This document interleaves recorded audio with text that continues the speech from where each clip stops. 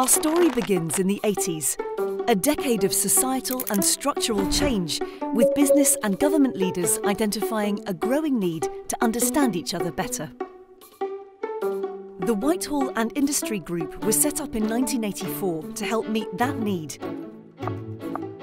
We started as a secondment scheme, giving civil servants real insight into business this laid the foundation for WIG facilitating decades of dialogue, collaboration and learning between government, business and the not-for-profit sector.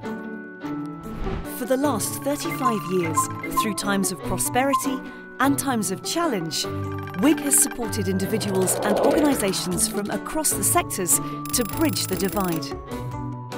And true to our secondment legacy, we continue to provide opportunities to develop your thinking and skills in another sector.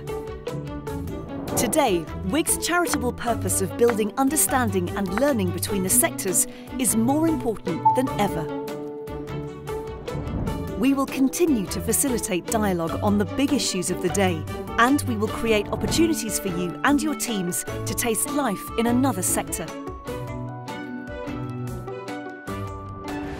Join over 230 organisations from across government, business and the not-for-profit sector to build the future together.